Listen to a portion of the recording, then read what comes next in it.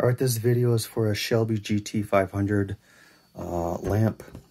It uh, basically just turns on here. You can just turn it on, or if you flip the switch all the way over to demo mode, it will sound like a car starting up.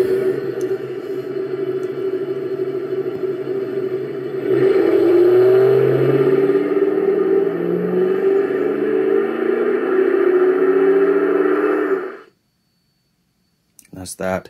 Um, there is a switch back here, so if you don't ever want that to happen, you can flip that switch to off. And then, you know, if you turn this off and you go to turn this on and flip it all the way over, it's not going to play that sound. The car itself is in really good shape. You know, you got some minor nicks and scratches here and there.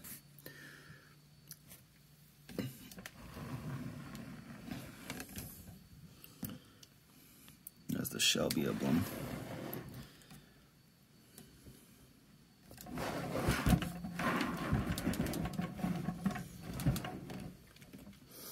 I didn't see, I don't see anything that's broke on it at all. try to get that guy there. Um, here's the lampshade. The lampshade does have, like, it's kind of dented in right here on the front of it. Um, so I don't know if there'd be any way to kind of repair that. Um, and then, you know, this right here kind of needs to be re-sealed or glued down.